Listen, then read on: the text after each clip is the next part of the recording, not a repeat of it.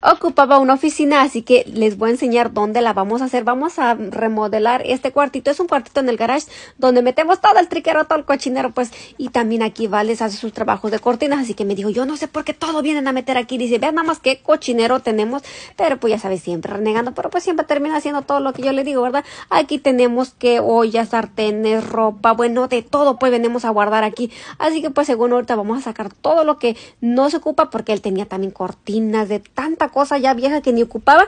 Empezamos a desarmar todo. Aquí ya casi vamos este, acomodando porque vamos a pintar, van a poner piso, van a poner nuevas luces. Yo aquí me andaba desmatrizando con esta cosa, que hasta el cántaro de las micheladas andaba ahí, pues. Así que pues me dijo, vale, ya después tienen que tirar todas esas cosas que ya no ocupes. Aquí ya había quitado la alfombra, van a cerrar esa parte de ahí porque van a cerrar, van a poner una pared y van a hacer un closet. Aquí ya estaba quedando el closet.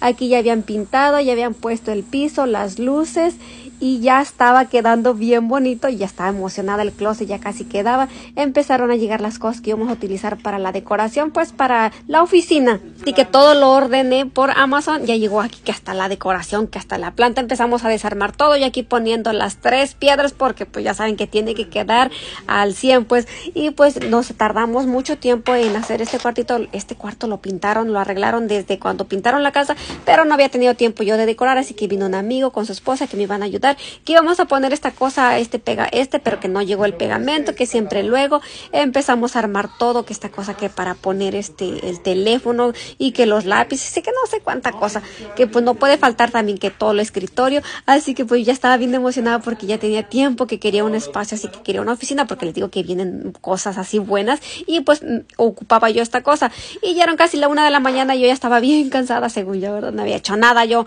aquí pues todo lo había hecho mi amigo con su esposa, luego llegaron unas amigas que no puede faltar la decoración y pues ya casi quedaba, ya estaba pintando bien, el closet de Valdés ya había quedado, así que ya estaba el escritorio y pues no es por nada, pero estaba quedando bien bonito. Y no sé cuántas cosas ordenamos que, que todo eso lo ocupa uno, quién sabe para qué, ¿verdad? Pero pues que uno lo tenía que tener, así que aquí ya estábamos acomodando todo y no es por nada, pero me está gustando cómo está quedando. Y aquí una de mi amiga, una de mis amigas nomás estaba mandando, las otras estaban trabajando, bueno, aquí había de todo, ya estábamos cansados que esta cosa para poner el teléfono, que la lámpara, que el calendario, así que empezamos a organizar todo.